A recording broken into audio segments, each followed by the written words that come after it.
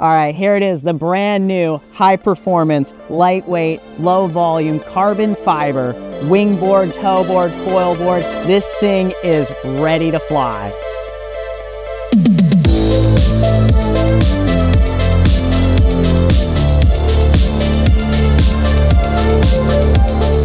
All right, this is the high performance package that you've been waiting for. The really lightweight carbon construction makes this board not only bomb-proof and really stiff, but it just feels like feather light under your feet. When you're riding this thing, you have such a secure connection to the foil. It really, it feels like you have almost nothing on your feet.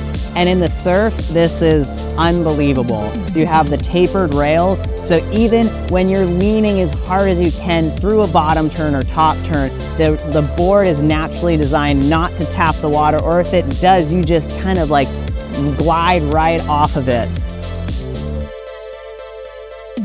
The tail of the board is really narrow and this allows you to really lean the board and keep the foil in the water while, while you lean the board um, and get like all the control that you need to turn and do your curves in waves.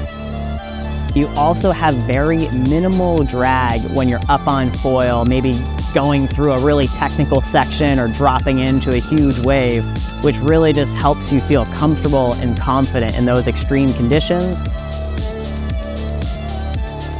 If you're jumping down to a lower liter board, you want to consider a number of things, such as when you're doing a deep water start, it's pretty challenging, especially when you're first figuring them out. And this board's designed to pop up as easily as possible. When you're riding a wave or you're just cruising along and you kind of, you know, like hit a little piece of chalk, you dive down, that's where this board is gonna bounce off the water and recover easily. And that's where the carbon fiber lightweight construction really comes into play. Having a board that you can ride one foil for multiple different disciplines is really cool because you get to know the board really well. You get to know exactly where you want your feet.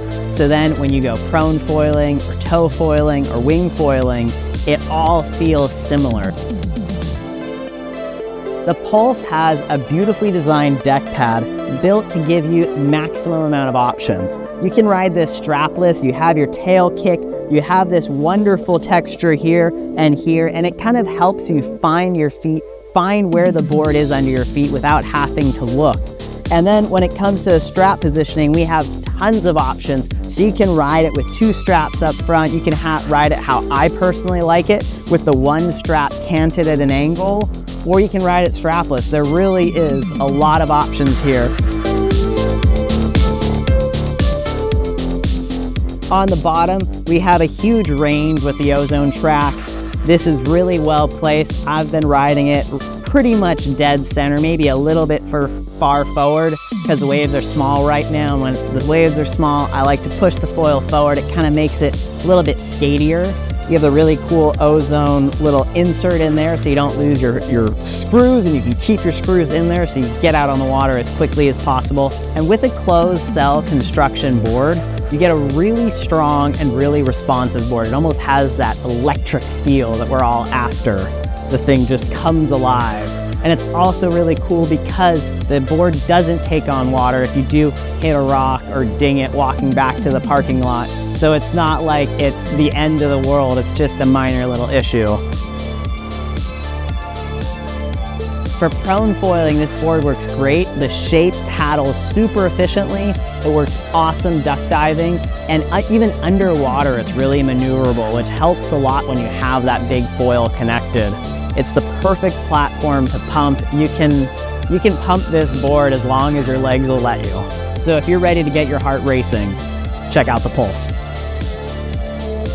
Boom.